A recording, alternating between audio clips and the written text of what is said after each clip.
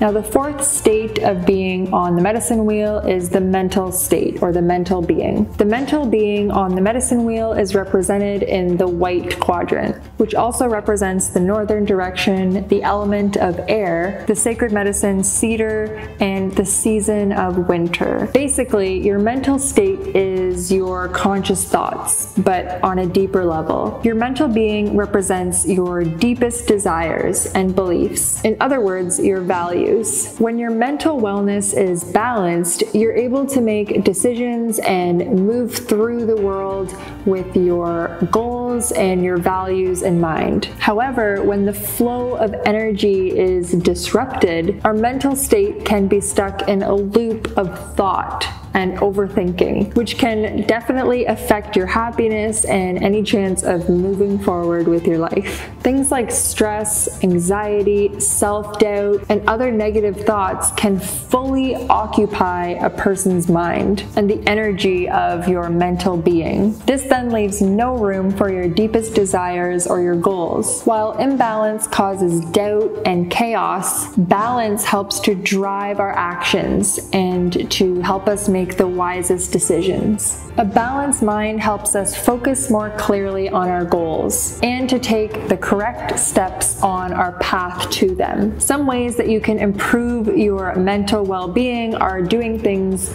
like setting goals, recapping on the day's failures and successes. You can try do this while smudging, expanding your mind through education, reading, writing, traveling, things like that. I hope you guys can really see how the medicine wheel helps us make the connection between the four states of being and to use these tools to help take care of your spiritual, physical, emotional, and mental health.